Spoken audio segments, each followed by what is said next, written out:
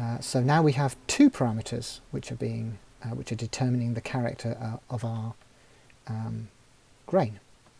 So that's hopefully good news. Uh, what about a third?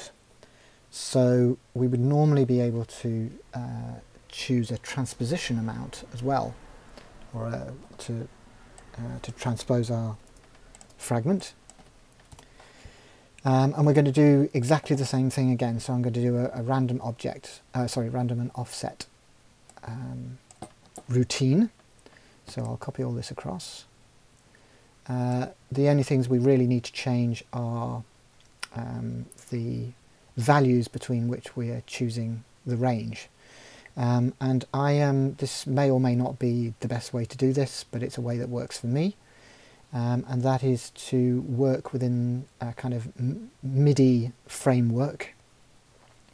Um, so we will assume that the middle is going to be uh, a middle C, um, as you would expect in, you know, if you were playing a sample on a keyboard, you press the key middle C and it will um, play back at the, the rate that you recorded it at.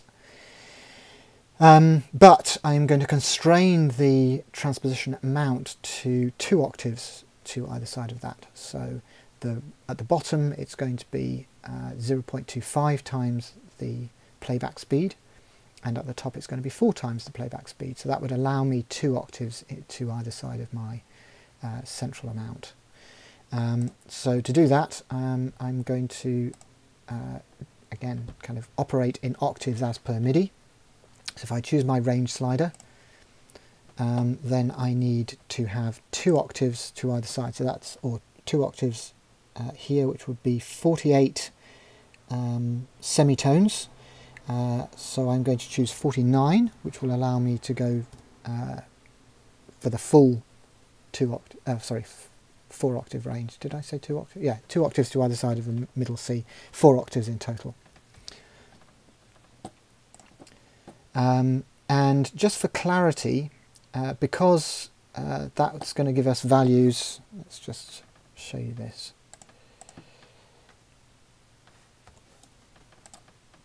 That's only going to give you values from 0 to 48. But in fact, if we're dealing with MIDI, our middle C should be the note 60.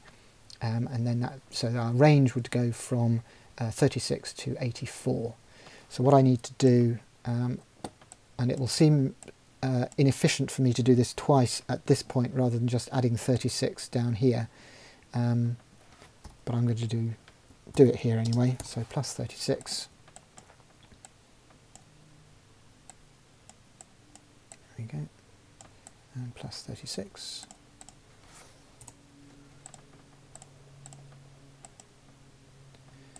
And I'm just doing that so that we can see the range of each of those um, outlets. Uh, so yes, uh, now if I choose the entire range, oops, then we should get values from 36 to 84. So you can imagine that that's happening. I won't try and get through every single number to, to prove it, but anyway, it's doing it. Um, so we're getting uh, MIDI note numbers between C, C1 and C5. But that's no use to us. I couldn't just send this to uh, the Groove object to tell it transpose because it doesn't operate in MIDI values. So we need to convert that to uh, a I guess, a ratio of our original playback speed. Uh, so we'll use um, this little technique which I've used before in the tutorials and again still works very well for me. Uh, so I'm going to convert the MIDI note number to a frequency and then I'm going to divide the frequency that comes out by um, a reference frequency which is going to be middle C.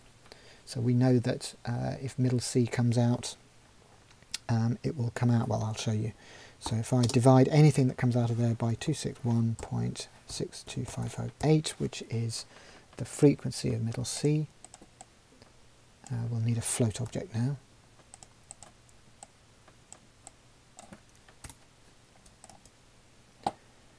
Then if I choose middle C, which by the way is going to have to be uh, 24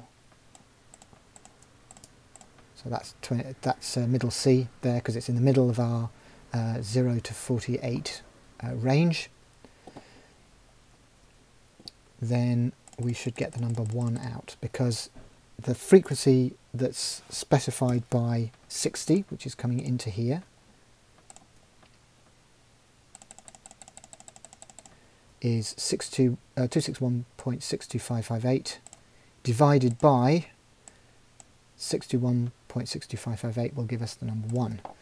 Um, but if I were to choose, say, two octaves above and send that, then we've got 1046, which divided by 261.62558 is 4.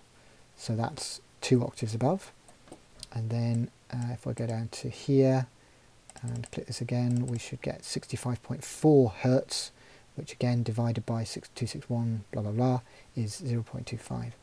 Uh, so we have the appropriate ratio for any point within this range uh, for transposition. Um,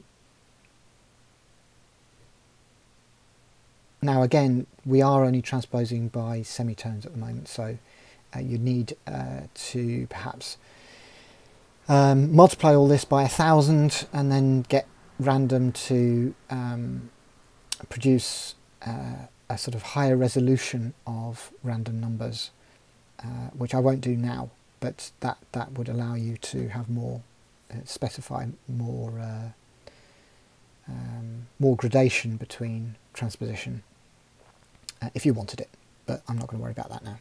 So, having done that, this output can go straight into uh, the sig tilde object and we can get rid of this because now we're not uh, multiplying by, you know, we're not having a one speed every time.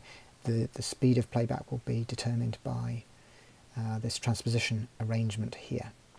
Um, if we again go to middle C, we should hear it at normal playback rate, as indeed we do. Um, but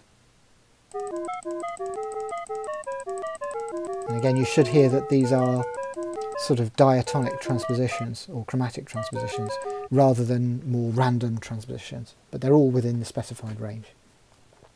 So we have uh, grain playback position or start point position. Actually, let's label these. So we will have one for um, grain start position, grain length,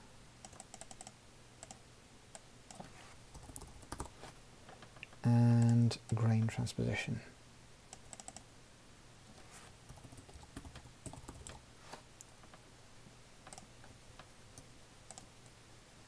Now, at some point I'm going to come back and I'm going to give you an alternative to this uh, kind of more um, uh, fluid transposition option um, and allow you to uh, transpose each grain by uh, specified notes so you could only have, for example, uh, transpositions by octave or have transpositions by fifths or thirds or something that to you sounds um, palatable.